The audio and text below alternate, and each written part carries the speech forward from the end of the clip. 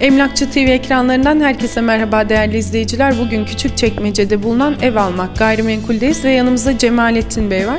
Cemalettin Bey sizi ve ev almak gayrimenkulü tanıyabilir miyiz? Tabii ismim Cemalettin. Ee, biz Sefaköy'e kurumsal bir firma getirmek istedik. Yaklaşık 6 yıldan beri bu işin içindeyiz. Bu bölgede böyle bir kurumsallık görmediğimiz için bu bölgeye geldik. Ev almak gayrimenkule gelen müşterileriniz ne tarzda ev bulabilirler?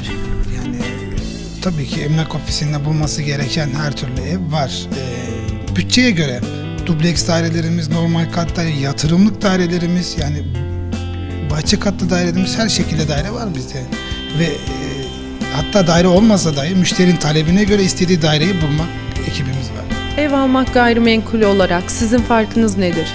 Bizim farkımız buradaki müşterilerimiz bizi çok seviyor. Bizim buraya geldiğimizden çok mutlular. Olmazsa olmamız samimiyet, değişim, hoşgörü, şeffaflık, disiplin, güven, kalite, yenilik. Aradıkları her şey e, bizde bulabiliyorlar. Yani gö- görsel olarak konuşurken geldikleri zaman karşıla- karşılamamız, ikramımız, servisimiz, hizmetimiz hatta e, ekibimiz de çok sağlam. Çok güler yüzlü. Yani kesinlikle bir müşterimizi daha kırmamışızdır. Herkese hizmet verebilmek için biz buradayız. Sefaköy'e ayrıcalık getirdiğimizi de iddia ediyorum.